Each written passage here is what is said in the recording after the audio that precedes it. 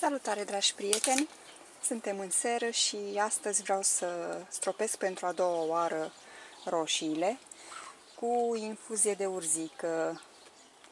Uh, v-am dat data trecută rețeta pe care eu o folosesc, 300 grame de urzică uscată, uh, puse în 2 litri de apă clocotită, lăsate un, cam o oră așa, Uh, apoi strecurate și lichidul rezultat uh, diluat cu apă în proporție de 1 la 10, adică un litru de ceai uh, diluat cu 10 litri de apă.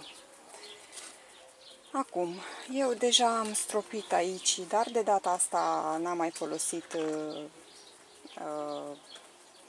pompa aceea specială, ci o simplă stropitoare le-am irigat așa, le-am dat o, o, o stropeală așa rapidă, așa pur și simplu, pentru că ele acum sunt destul de măricele și nu necesită chiar uh, pompa aceea finuță.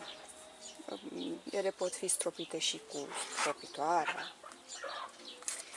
Uh, da, și spuneam că aceasta este a doua tură de când uh, a doua tură când le stropesc cu infuzie. Până acum nu le-am mai dat absolut nimic decât ceaiul acesta de urzică și o să vedem uh,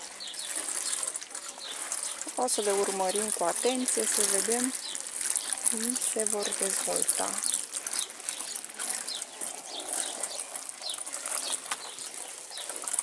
Eu zic că prezintă foarte bine, ținând cont că uh, și vremea a fost așa cum a fost.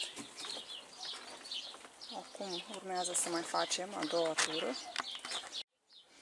Am aici apă de ploaie și o voi folosi pe aceasta pentru că este mult mai bună e mai indicată pentru stropirea plantelor.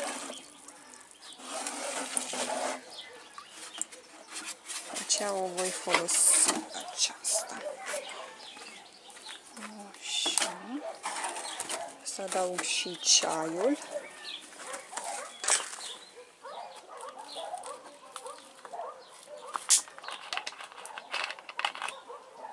Acum eu pun la ochi, nu mai stau să măsor exact, știu că uh, stropitoarea are 4 litri jumate, calculez și eu așa la ochi. O să fiu nici precisă, precisă. E, până la urmă o să o pun pe toată. Cred că am jumătate de litru aici. Uh, am pus tot, tot, tot ceaiul din sticlă, n-am idee cât avea, cât mai avea, pentru că am mai uh, stropit prima dată cu... Am stropit aceste roșii din partea asta și n-am mai stat acum să calculez la mililitru. Uh, eh, în mare acolo tot, ceai cu apă. ok. Acum să mergem în partea cealaltă.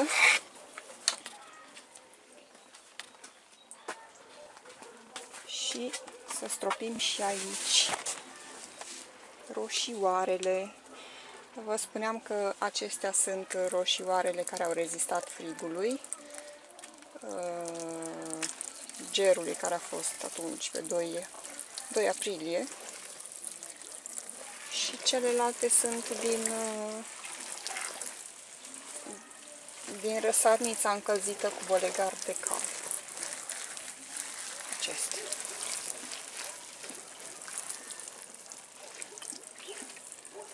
Dar eu sunt mulțumită de cum arată pentru că, repet, ele nu au fost stropite cu nimic altceva decât cu infuzie de urzică și asta este a doua tură.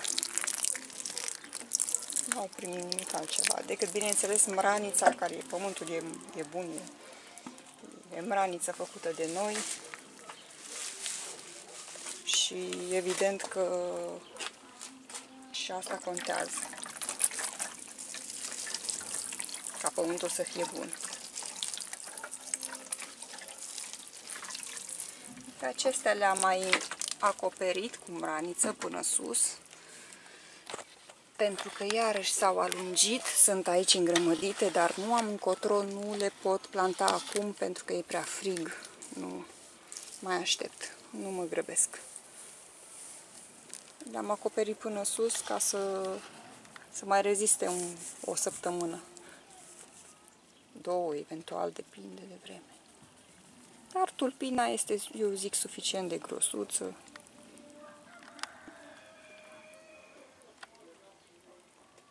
Și e bine așa.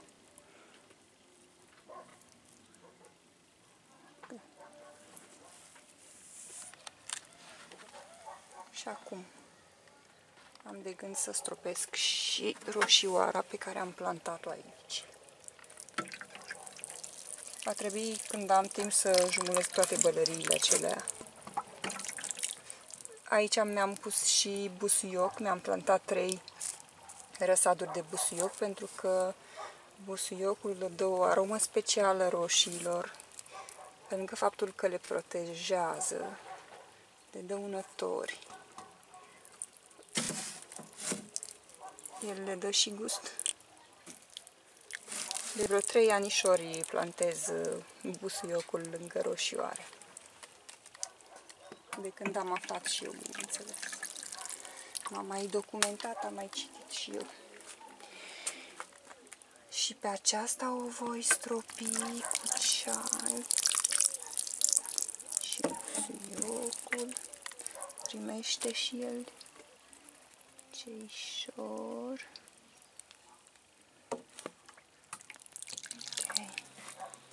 Aici am răsadurile pe care trebuie să le transplantez, să le repichez neapărat în cursul zilei de astăzi, pentru că nu nu-mi place. Acestea sunt vinetele, uh, pana corbului și trebuie să le repichez. Vinetele celelalte Alexandra le-am repicat deja și le-am repicat tot așa micuțe pentru că erau prea îngrămădite și nu, nu mai puteam să mai stau, să mai aștept. O să le dau și lor ceișor.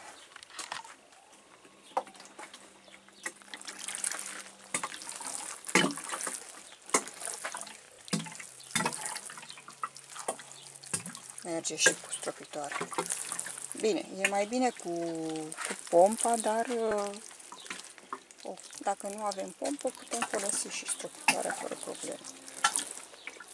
Toată lumea are pompă. Așa că dăm și cu stropitoarea în felul ăsta.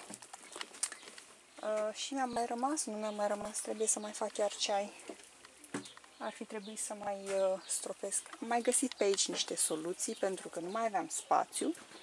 Așa că m-am cocoțat pe sus și mi-am mai pus aici răsaduri, diverse răsaduri, cu ce mai am eu pe aici. Uh, da. Trebuia să mai fac ceva ceișor, dar acum, momentan, nu, nu mai am frunze, nu mai am uh, urzică uscată. Așa că am de gând să fac o urzică proaspătă. Voi face o apă de urzică din, din urzică proaspătă. Și să văd cât am aici. Păi, am cam puțină urzică, e, atât cât am, am de gând să fac o culeg astăzi și o să o pun în, în apă rețeta era un kilogram de urzică proaspătă la 10 litri de apă, dar acum eu nu știu cât am aici, va trebui să văd.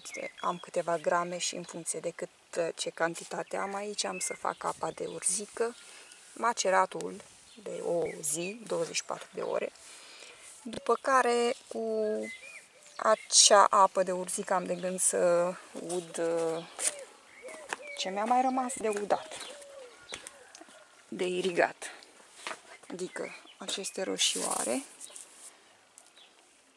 și pe cele din sera mare.